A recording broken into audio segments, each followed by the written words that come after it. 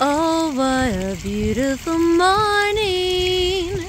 Oh, what a beautiful day. I've got a beautiful feeling.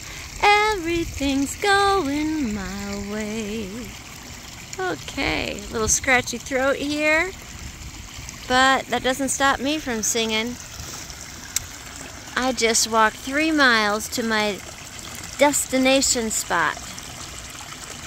Here is an artesian well here in Eaton Rapids, right next to the Grand River and the dam. Just curious how many people out there have collected or harvested water for drinking purposes.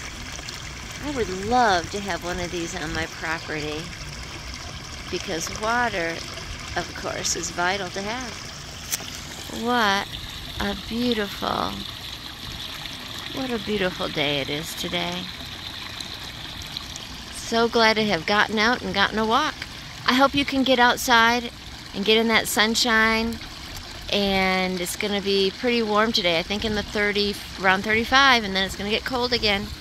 So get out there and make that time you spend outside a time that you can be still and know that He is God, the creator of this miracle called water. God bless.